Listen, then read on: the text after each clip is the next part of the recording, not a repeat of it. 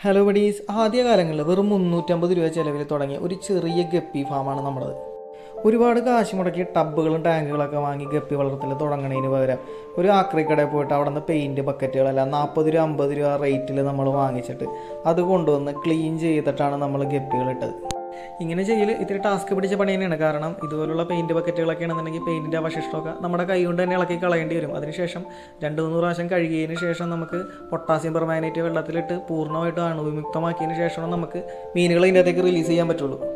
ഇങ്ങനെ ചെയ്യുന്നതുകൊണ്ടുള്ള മറ്റൊരു ഗുണം എന്താണെന്ന് വെച്ചിട്ടുണ്ടെങ്കിൽ വളരെ കുറഞ്ഞ ഏരിയയിൽ തന്നെ നമുക്ക് കൂടുതൽ മീനുകളെ വളർത്താൻ പറ്റും. ആദ്യം എടുത്ത ബ്രൂഡ് സ്റ്റോക്കുകളൊക്കെ ഞാൻ ഇതിന്റെ അകത്താണ് ഇട്ടിരുന്നത്. അവരിൽ നിന്ന് കുഞ്ഞുങ്ങൾ ഇറങ്ങുന്ന മുറക്ക് നമ്മൾ കളക്ട് ചെയ്തിട്ട് വേറെ വലിയ ടബ് വാങ്ങിച്ചിട്ട് അതിന്റെ അകത്തേക്ക് മാറ്റി പതുക്കെ പതുക്കെ വിപുലീകരിച്ച് കൊണ്ടുവന്നാണ് ചെയ്തിരുന്നത്. അപ്പോൾ ഞാൻ പറഞ്ഞു തന്നെ എന്താണെന്ന് വെച്ചിട്ടുണ്ടെങ്കിൽ വലിയ ലാഭം പ്രതീക്ഷിച്ച് ഒരുപാട് രൂപ മുതൽ മുടക്കി ഇതിന്റെ അകത്തേക്ക് വന്നതിന് പകരം നിങ്ങൾക്ക് ക്രൈസ് ഉണ്ടെന്നുണ്ടെങ്കിൽ ഇതുപോലെ ചെറിയ രീതിയിൽ തുടങ്ങുന്നതാണ് ഏറ്റവും നല്ലത്. അപ്പോൾ വീഡിയോ ഇഷ്ടപ്പെട്ട ലൈക്ക് ചെയ്ത് സപ്പോർട്ട് ചെയ്യുക.